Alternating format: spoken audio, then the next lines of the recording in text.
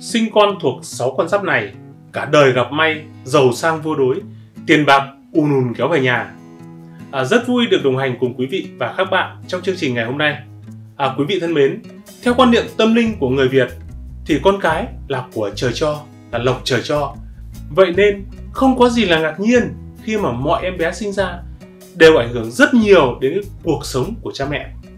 Có những em bé trời định mang lại cái số mệnh quý nhân không chỉ được hưởng phúc phận trời ban mà còn có thể đem lại cái may mắn cho cả gia đình. Chính vì vậy, có thể khẳng định cái thời điểm sinh em bé sẽ có ảnh hưởng rất lớn đến cái cuộc sống của em bé sau này. Bởi mỗi con giáp thì đều mang trong mình những cái tính cách và cái vận mệnh khác nhau. Và theo các chuyên gia tử vi thì cho rằng 6 năm được coi là năm hoàng đạo. Những em bé mà sinh vào những cái năm này thì chính là thiên tử. Sau này lớn lên sẽ rất là thông minh, sáng dạ. Nhờ được hồng phúc của những em bé này mà con đường công danh, sự nghiệp, tài vận của cha mẹ cũng được như được chắp thêm đôi cánh. Ngày càng hanh thông, tốt đẹp và viên mãn hơn. À, xin mời quý vị và các bạn cùng theo dõi. Sinh con thuộc 6 con giáp này, bố mẹ rước thần tài về nhà, cả đời gặp may, giàu sang vô đối. À, theo tử vi học phương Đông ấy thì ngày tháng năm sinh âm lịch ảnh hưởng rất lớn đến cái số mệnh của mỗi em bé. Có những cái cô bé, cậu bé vừa lọt lòng đã được trời định sẵn một cuộc sống giàu sang phú quý, cả đời được ấm êm. À, không chỉ thế, những em bé này còn mang đến nhiều cái tài lộc, may mắn giúp cho bố mẹ đổi đời, làm ăn thì phất lên như diều gặp gió. À, xin mời quý vị hãy cùng theo dõi để biết những con giáp sẽ khiến cho bố mẹ không cần phải quá vất vả mà vẫn giàu có, tài lộc từ đầy nhà. Một em bé tuổi thìn. Ở ngay từ khi lọt lòng, những người cầm tinh con rồng đã được trời phú cái phẩm chất là cao sang, phú quý, luôn được quý nhân dốc lòng phù trợ. Những người tuổi rồng ấy thì vốn dĩ là thông minh, lại mạnh mẽ, cương trực, nên là có tố chất làm lãnh đạo, luôn theo đuổi cái mục tiêu tới cùng và với nhiều cái ý tưởng tuyệt vời của mình, họ đã làm nên những cái điều phi thường khiến cho những người khác phải nể mình mà thán phục. À, các cô cậu bé tuổi thìn ấy thì luôn được quý nhân phù trợ trên mọi phương diện của cuộc sống, từ tiền tài đến tình yêu, đặc biệt là những em bé sinh vào tháng 2 này, tháng 3 này, tháng 4 này, tháng 7 và tháng 8 âm lịch. Và nếu may mắn mà sinh trúng vào cái ngày mùng 1, mùng 10 hoặc là ngày 30 ấy, thì cả đời ấm no, giàu có, phúc lộc đầy nhà. Những đứa trẻ này đa số là học hành giỏi giang, ngoan ngoãn, lớn lên thì có cái sự nghiệp thành đạt, hứa hẹn một cuộc sống hạnh phúc và và ấm no. Thứ hai là em bé tuổi Mão.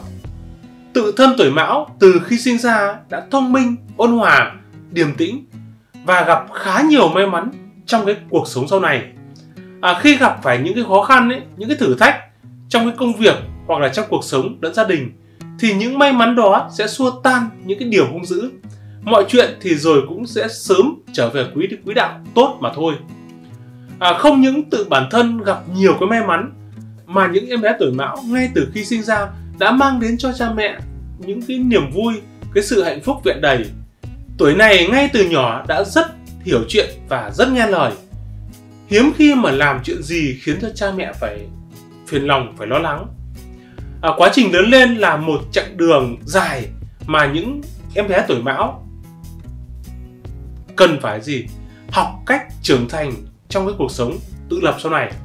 À, sinh con tuổi mão thì cha mẹ có thể để tâm vào những chuyện khác mà không cần phải lo nghĩ quá nhiều về cái con cái. Bởi vì đứa trẻ này sinh ra cái trung vận và hậu vận gì của những người làm cha làm mẹ đã được trời định là ngồi hưởng phúc hưởng phúc của con cháu. Gia đạo thì an yên sức khỏe thì dồi dào tiền tài thì dùng dính chỉ cần tận hưởng cái cuộc sống cái lúc về già mà thôi. À, tuổi mão sinh vào các năm 1999 2011 hoặc là 2023 sẽ mang lại nhiều may mắn cho cha mẹ nhất là về sức khỏe gia đình thì lúc nào cũng được an vui êm ấm thứ ba là em bé tuổi ngọ thì những đứa trẻ cầm tinh con ngựa thì mang trong mình cái tính cách khá là độc lập hào sảng, linh hoạt, thích ứng nhanh với những cái thay đổi đột ngột trong cuộc sống. Họ luôn biết cách biến cái thách thức của họ thành những cơ hội để thể hiện cái sức sống mãnh liệt, cái sự kiên cường của mình. Đây cũng chính là con giáp mà được phúc khí song toàn nhất trong 12 con giáp. Những cô cậu bé tuổi ngọ ấy thì thường có nét tính cách và đặc điểm khá là giống nhau. Họ thường thích là tự do ngao du, thích thử sức trong những công việc đến từ công việc này đến công việc khác và luôn chạy theo những con đường riêng do chính họ lựa chọn. Đây cũng chính là cái con giáp mà đứng trong một trong những con giáp vừa tài giỏi lại vừa có phúc, luôn biết cách tận dụng cái mọi cái vận may để biến thách thức thành những cơ hội trong cuộc sống. À, những người thuộc con giáp này ấy, thì luôn đặt cái tình cảm của gia đình lên hàng đầu, cố gắng làm mọi cách để xây dựng cái cuộc sống ấm no, hạnh phúc và mang đến nhiều cái phước lành cho gia đình của mình. Những người cầm tinh tuổi ngọ ấy, thì rất may mắn và thành đạt về sau. Ngay cả khi không sinh ra trong gia đình giàu có thì họ cũng luôn có rất nhiều cái tham vọng. Bất kể là nam hay là nữ thì điều đó đều mang lại cái hy vọng rất lớn cho gia đình. Em bé mà thuộc con giáp này sẽ giúp cho gia đình có cuộc sống sung túc, thịnh vượng, mang đến cái phước lành cho gia đình. Đặc biệt là những em bé sinh vào năm 2014, 1990 hoặc là 2004 thì thật sự là có tương lai sau này rất sẽ rất là hứa hẹn. Thứ tư là em bé tuổi dậu. Thì đứa trẻ tuổi dậu luôn có sự rực rỡ, cao quý và vinh quang.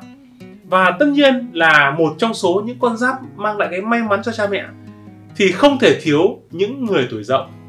À, những đứa trẻ cầm tinh con gà thì thường thông minh, tài giỏi. Ở trong mệnh thì có chứa kim, vậy nên là tức là gì? Tiền tài thì hanh thông, phúc lộc thì không hề nhỏ. Ngoài ra, những đứa trẻ này còn mang lại cái sự thịnh vượng, thúc đẩy cái may mắn về tài lộc cho cho cha mẹ.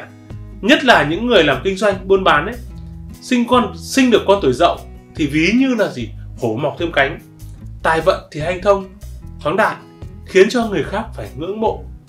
À, những đứa trẻ tuổi dậu sinh vào các năm 2005 là Ất Dậu hoặc là 2017 Đinh Dậu sẽ mang lại nhiều may mắn và tài lộc cho gia đình cuộc sống thì ngày càng tốt đẹp và phú quý đó đó là những em bé tuổi dậu thứ năm là những em bé tuổi tuất thì những tuổi này ấy, thì từ lúc nhỏ đến lúc lớn thì đều rất là lanh lợi sáng dạ có con mắt tinh tường nhìn thấu mọi vấn đề ở những cái khía cạnh khác nhau mà người khác đều không chú ý đến nhờ phúc đức có được ấy, mà họ gặp được quý nhân giúp đỡ nên là có chuyện là khó khăn ấy thì cũng sẽ sớm được ổn thỏa.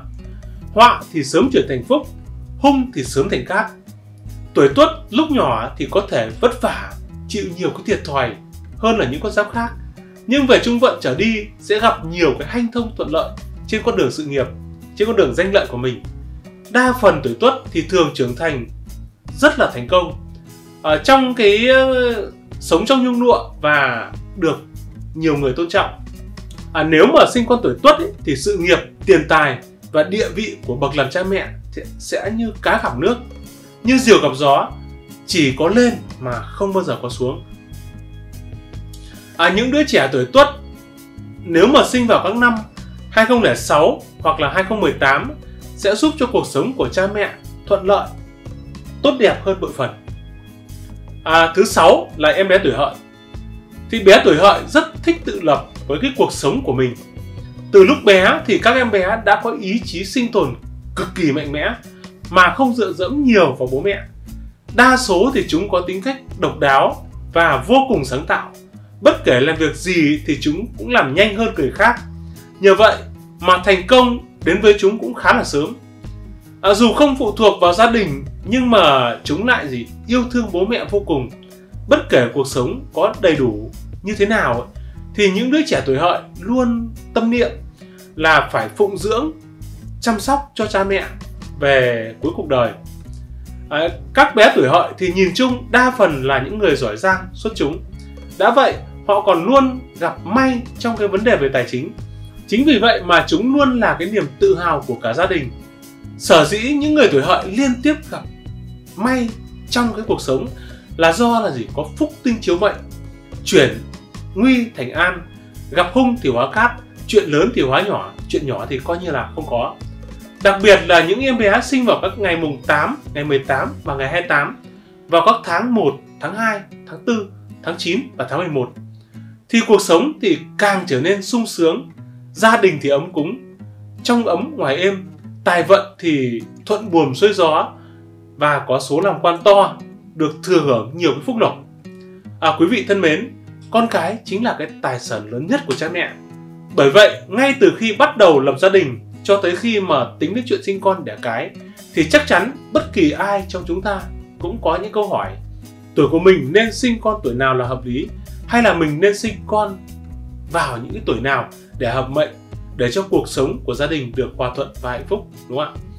À, vừa rồi tôi đã chia sẻ cùng quý vị và các bạn về những em bé sinh vào những năm nào thì có được cuộc sống giàu sang phú quý hạnh phúc trọn đời và mang lại cái phúc khí mang lại cái may mắn cho cả gia đình cảm ơn quý vị và các bạn đã quan tâm theo dõi.